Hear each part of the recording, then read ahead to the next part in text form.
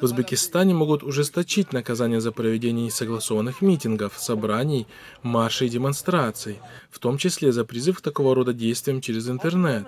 Об этом сообщает Central Asian Org. Как сообщается, данная норма предусмотрена законопроектом о внесении изменений и дополнений в Уголовный кодекс Республики Узбекистан и Кодекс Республики Узбекистан об административной ответственности. Mana bizni ahvolimiz, mana В документе определено, что призыв к демонстрациям в социальных сетях является таким же преступлением, как и проведение несанкционированного митинга.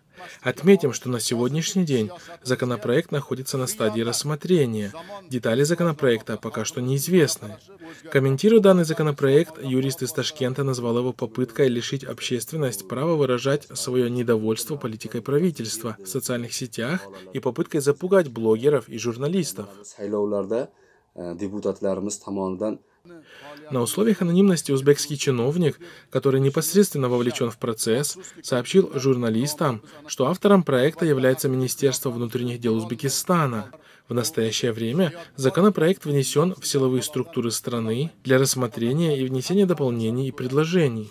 Не ищите этот законопроект на Regal.gov.uz, правительственный сайт для обсуждения законопроектов. Это потому, что документ разрабатывался секретно и в закрытом режиме. Проект не будет выставлен для публичного обсуждения, сообщил ташкентский чиновник, представивший копию секретного законопроекта. Напомним, что с наступлением зимы в различных регионах Узбекистана прошли протестные акции.